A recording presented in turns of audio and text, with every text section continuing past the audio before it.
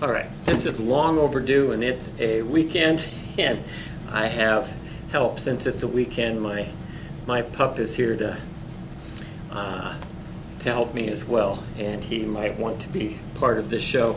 He looks like a full-grown golden retriever but he's only eight months old and he loves his squeaky toy. Um, we're going to go through and let me adjust this a little bit. We're going to take some notes on volume. I think you can fill out the uh, first part of this. You can download it. Um, it says measuring mass and volume. And the first part just talks about mass. And mass is just um, the amount of matter in an object, but we don't say matter. We usually just say stuff. So we would just say the amount of stuff in an object how much of whatever it is. If you have a can of um, Coke, it's how much Coke you have in there. If you have a, uh, uh, a hamburger, how much bun and meat and whatever condiments you put on there. Just whatever stuff there is there. The scientific term is matter, but uh, most of the time we don't talk that way. Um, there is a back to this, which is a lab, but that's going to be hard to do at home because you don't have you don't have the objects.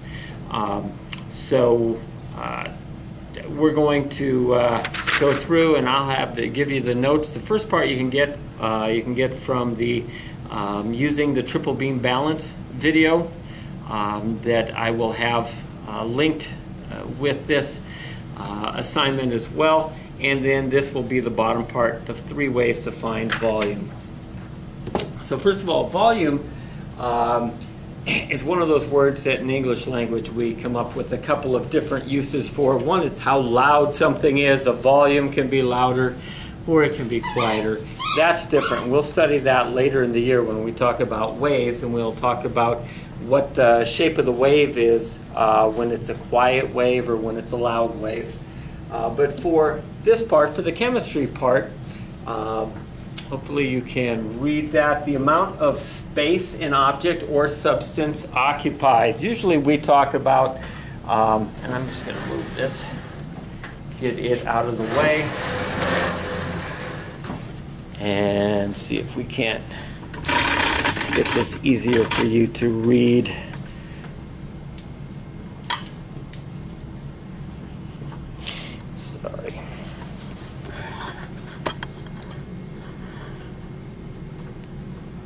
All right.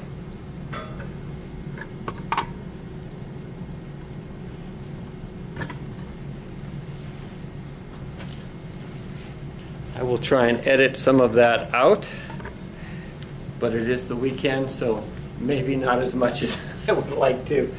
But the amount of space, now it's, um, if you have an object, for example, uh, if we're talking about this eraser, the amount of space it takes up is easy to think, but it can also be um, a cup. How much it can space is inside usually is what uh, it is, or it could be the air in this room. It can be something that's not easily picked up and measured, um, but uh, that too has a volume. Now, um, the first type of something we're going to do is uh, liquids, probably some of the easiest to measure, and we're going to use an instrument that's called graduated cylinder, and graduated just means it has marks for measuring. A test tube would be just a cylinder. Uh, a graduated cylinder has those marks for uh, measuring on it, and that's what graduate, when you graduate from high school, you have measured up and you've had enough of the math and enough of the science, enough of English, enough of history, you've met the measurements that are required, and then you can graduate. Um, now, when you put a liquid into the graduated cylinder, it makes a curved surface at the top. It's not level uh, across, especially with a glass graduated cylinder. And that, that curved surface is called a meniscus. Same as the meniscus like you have in your shoulder, the, any ball and socket joint, and you can have a tear in your meniscus. That's just a curved surface of muscle where uh, it attaches in a smooth place for um, the ball to actually articulate back and forth. Now when you look at it sideways with water in there, a lot of times it really just looks like uh, a thick kind of a skin at the top. Yeah, you can still see that um, at the top. And when you read that, you're going to read the bottom of the meniscus. That's the way, I mean, we could have it so that you read the top or the middle uh, of that, but it is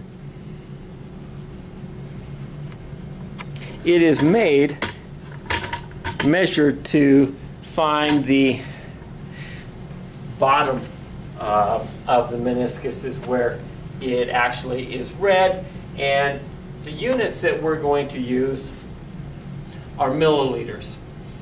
Okay, so each one of them, usually uh, they have them marked out. And depending on how big they are, this is what a graduated cylinder is going to look like. And um, this one has every little line is one milliliter. It's not very precise. Is not much room between 40 and 41 milliliters. So it's hard to get anything closer than a single milliliter. Now you can estimate um, in between a little bit, but you'll see when you see this thicker part, it, it's really hard to get a real accurate measure, but we've got to do the best that we can. Uh, so that's how we find liquid.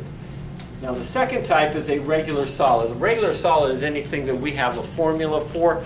We are going to talk about just cubes and rectangular prisms and um, the formula you're familiar with, I'm sure you've done it in math. Uh, volume equals length times width times height. It doesn't matter which order, it doesn't matter what you call length, width, or height because multiplication is commutative.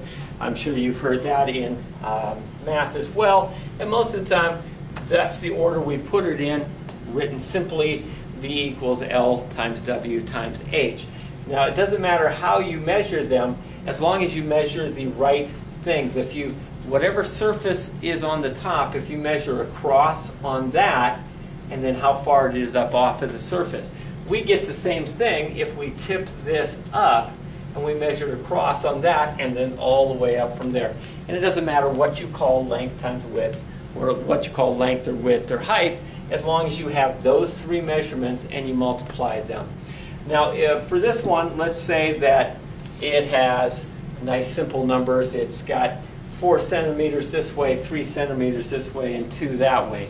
And it doesn't matter what we call length, width, or height, but if we just say the volume equals four centimeters times three centimeters times two centimeters, the uh, numbers are easy. Four times three is 12 times two. So we get that volume equals 24, but we have to do the same thing with the units. If we took 4 times 3 times 2, we have to take centimeters times centimeters times centimeters. Nobody wants to write that. Nobody wants to say that. So we just say 24 centimeters cubed. Now, students a lot of time, because you've done more with, with um, area in math, and they what that would be centimeters squared.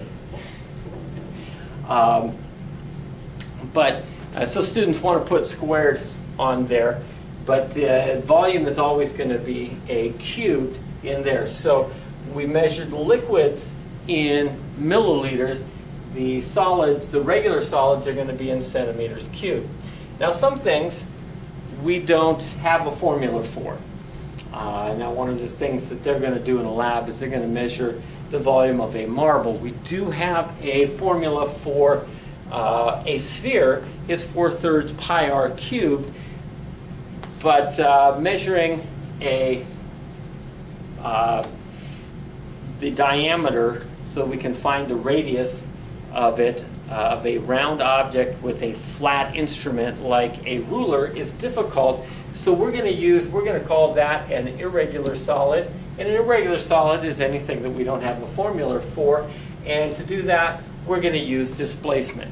Archimedes came up with this um, idea, basically that you know, if, when you take a bath, if you fill up the bathtub to a certain level, when you get in, you take up some of the space so the water is pushed up and so that the water goes up inside. If you filled it right to the brim of uh, the tub, that usually there's something in there that makes sure that you can't do that because of the mess that can happen. But if you could, and when you got in, it would come in and it would run over. Um, so to do that, we're going to go through three steps. First one is to put water in a graduated cylinder, and just enough uh, so that it will cover the object that you're going to put in there. Make sure it's not so much that when you put the object in, it's going to go up above the numbers, but uh, enough to cover it and make sure that you record the amount. That's important because you get to the end, and if you haven't done that part, then uh, we aren't sure uh, what the volume is. So if we have, here's our graduated cylinder, and let's say we want to find the volume of this heart. I do not have a formula for finding the volume of a heart, so we put water in, and let's say that's probably hard for you to see, but it goes up to, and it doesn't have that nice curved surface at the top, but um, let me see if I can make it a little bit darker for you there. Hopefully, maybe choose a little bit different blue. It doesn't really make any difference, I don't think. I don't know. Get the idea. It's up to 50, so we would take and record the amount is 50, and now we're back to milliliters because we're using a graduated cylinder. This one goes up to 100, and on the actual graduated cylinder, it will tell you that it's reading in milliliters. Second step, whoops, is lost.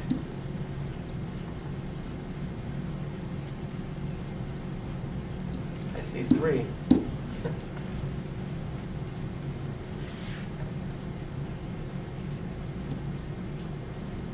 that's three. There we go.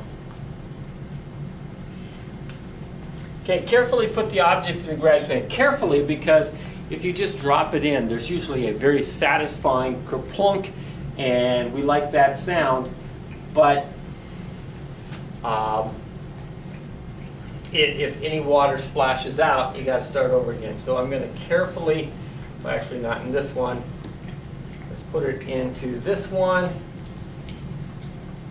and I put it down there. And now, oh, and I think I know what I did on the other one. Let me try it here real quick. Yeah.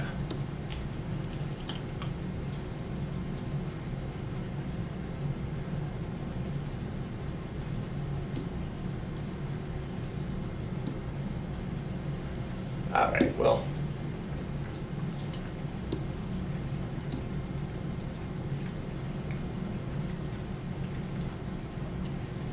All right, maybe you can see that a little bit better. And each one of these, the way it's marked, each one of these there's uh, is worth two because there's only five between 60 and 70. So this goes up to 62 for six.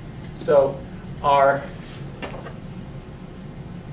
second reading is 66 milliliters. Now this one isn't as important because it's still there. You can see it, but you can see that if I hadn't if I hadn't uh, written down what the first one was, this wouldn't be here. We just have one. I wouldn't know what to do with this 66. But I've, since I've written it down, now step three is simply number two minus number one. 66 minus 50 is 16 milliliters. So that heart that we put in there has a volume of 16 milliliters. All right, so write down those on the front of this sheet as the notes and then submit it and uh, you'll get points for that. Unfortunately, the back, I probably won't even send the back with you. It's just uh, the things that they had to uh, measure um, in class. We also, as a reminder, that um, every day, well, Monday, Tuesday, Thursday, and Friday, we are Zooming, um, so you can kind of keep up with what's going on in class. They're doing different labs now. Uh, uh, There's one, you got notes that you can take on density. Um, I think it's the assignment, the notes that are listed there say you are my density, um, a reference to Back to the Future. Uh, But you can, um, you can kind of see what's going on uh, with that. Uh, We're finishing up the density of solids and starting density of liquids lab. Um, And if you have any questions, that's a great time to get it answered. And when we start the next part, and we start on significant digits, that will be the easiest way to do it, just to zoom in with us, and I'll just have the, um, the Zoom going on the uh, smartboard so you can see what we're doing. You can ask questions right in real time, um, almost like you're sitting here without having to be here. And uh, the, our, our class time is from 2:41 to 3:30 on Monday, Tuesday, and Thursday and Friday. And on Wednesday, it's a little bit shorter and a little bit later because we have chapel between first and second hour. So it's from 2:47 to 3:30. And uh, there is a page in there called Zoom that gives you all of that. And send me any emails uh, or notes on Canvas, and I will help you out. And um, I am getting helped with this with my pup. Let me show you. I don't know if you'll even sit here long enough to show you. Come here, Scott. Sit. Stay. Good boy. No, stay. He's not going to want to cooperate. So I will take this off of the stand and you can see my assistant. There we go. Sit, sit. There we go. That's Scout. That's my assistant helping me, helping me uh, through this, and he just thinks he should get uh, another treat for being such a good dog and and uh, or go for a walk. But um, we will um, see you, and hopefully we'll see you on Zoom.